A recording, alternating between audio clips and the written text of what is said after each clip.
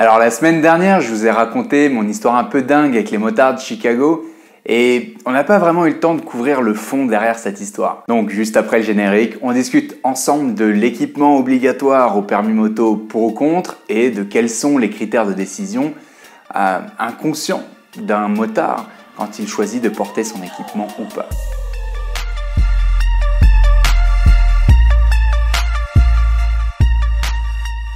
Salut à tous, ici Alex du site permimotofacile.com et aujourd'hui on reprend la discussion à propos de l'équipement moto. Et juste avant de commencer, je t'invite à faire trois choses. La première, t'abonner à la chaîne en pensant à bien activer la petite clochette. La seconde, bien liker cette vidéo pour la mettre en avant sur YouTube, de sorte que plus d'apprentis motards puissent découvrir le contenu de la chaîne. Et la troisième, je t'invite à rester bien jusqu'au bout de la vidéo pour savoir comment télécharger notre nouvel e-book spécial préparation du permis moto. C'est gratos et ça se passe à la fin de la vidéo. Première chose dont je veux qu'on discute, c'est les critères de décision plus ou moins inconscients qu'on utilise en tant que motard pour choisir de s'équiper ou non. Pour garder les choses assez simples dans un premier temps, enlevons complètement le budget de l'équation et partons du principe que la personne a déjà un équipement et que la décision porte uniquement sur le fait de l'utiliser ou pas. Alors, le premier critère, il est relativement simple puisque c'est est-ce que c'est obligatoire ou pas. Par exemple, dans mon histoire de la semaine dernière à Chicago, les mecs n'avaient pas d'obligation de porter de casque, donc ils ne l'ont pas fait. Par contre, en France, la loi impose que l'on porte un casque à tout moment sur un deux roues. Le deuxième critère est un poil plus complexe puisque si on prend en compte tous les paramètres, avoir tout son équipement ou à minima une partie de son équipement, c'est protecteur certes, mais c'est aussi assez contraignant. Que ce soit quand on va au taf à moto, que ce soit une balade, que ce soit euh, aller au café du coin avec les copains, le problème c'est toujours le même, c'est qu'est-ce que je fais de tout mon attirail de cosmonaute une fois que je suis descendu de la moto? Si on continue, en été ça tient trop chaud, euh, bon, il y a mille et une contraintes avec le fait de s'équiper à moto. Donc finalement, la décision autour de l'équipement, c'est un échange, un compromis entre contrainte et protection. Et cette décision, plus ou moins consciente, est généralement prise à partir du risque estimé du trajet à effectuer. Donc quand je dis risque estimé, c'est le risque perçu par la personne, et donc mathématiquement, ça se résume à quelle est la probabilité que le risque ait lieu, et s'il a lieu, quelle est la criticité de ce risque. Et le problème avec l'être humain, et de nombreuses études montrent ça, c'est qu'on a toujours un peu tendance à sous-estimer les risques. En fait, tant qu'on n'a jamais eu à faire face à ce risque, donc à avoir mangé une gamelle, on ne se rend pas compte en termes de probabilité à quel point ça peut arriver à n'importe quel moment, puisqu'on est toujours dans ce momentum où il ne nous est jamais rien arrivé, et donc on se dit que alors moi ça ne m'arrivera jamais, j'aurai jamais d'accident.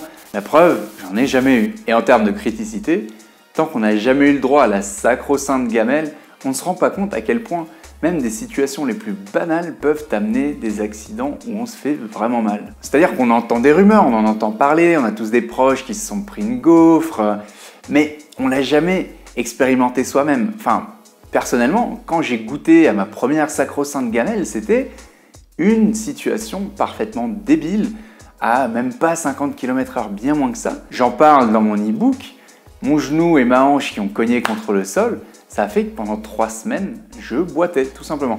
Donc, d'un coup, ça m'a fait réviser mes perspectives sur la criticité d'un accident et ça fait tout de suite changer de comportement. Maintenant, si on veut avoir tout le paysage, il faut rajouter le critère du budget, puisque euh, le budget va déterminer à quel point on peut s'équiper. Puisqu'on va pas se mentir, l'équipement motard, ça coûte quand même relativement cher.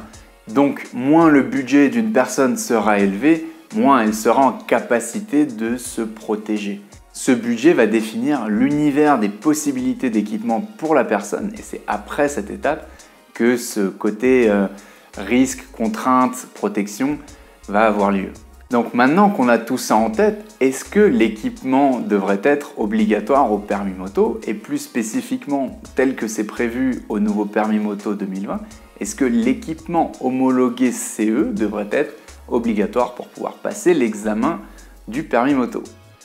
Bah, toujours dans l'esprit de faire des vidéos relativement courtes, puisque c'est ce que vous avez demandé, Je répondrai à cette question la semaine prochaine. En attendant, je suis quand même super curieux de savoir ce que vous avez pensé de cette analyse. Est-ce que ça vous parle? Euh, Est-ce que ça vous est déjà arrivé dans votre vie de motard de vous dire ouais non mais je vais pas loin, euh, c'est bon, euh, pas besoin de prendre le pantalon moto ou je vais juste à l'épicier du coin, bon il y en a pour 5 minutes, je mets pas ma veste ou ce genre de réflexion comme ça par rapport à un trajet où on se dit bon autoroute, wow grosse vitesse donc c'est sûr je mets tout l'équipement. Est-ce que ça vous est déjà arrivé ce genre de biais mentaux autour de la perception du risque? Et autre chose, est-ce que ça vous est déjà arrivé de vous prendre une gamelle, la plus petite que ce soit, sans que ce soit forcément un truc qui rend tétraplégique, mais vraiment même un petit truc. Et comment vous avez réagi juste après ça? Est-ce que vous êtes dit waouh, ah ouais, là j'ai mon genou qui a cogné, donc euh, à l'avenir j'aurai toujours euh, des protections aux genoux et aux hanches Ou vous avez dit bon, bah, finalement, je me suis fait mal, euh, ça arrive et, vous continuez comme ça? Je suis vraiment curieux de, savoir comment vous percevez justement le, le, risque à moto et comment vous protégez. Donc compte sur vous pour euh, me raconter tout ça dans les commentaires juste sous la vidéo. Donc dans cette vidéo, on a vu ensemble les schémas mentaux qui entourent la décision de s'équiper ou non en tant que motard. Et même si ce n'est que la semaine prochaine que l'on parle de l'équipement obligatoire au permis moto, en attendant, si vous souhaitez savoir comment bien vous équiper si vous êtes en pleine aventure dans le permis moto, je vous invite à télécharger notre nouvel e-book spécial préparation du permis moto.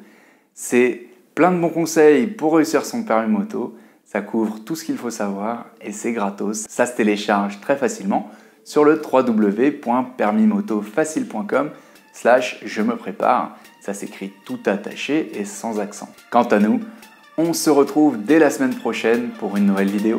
Bye bye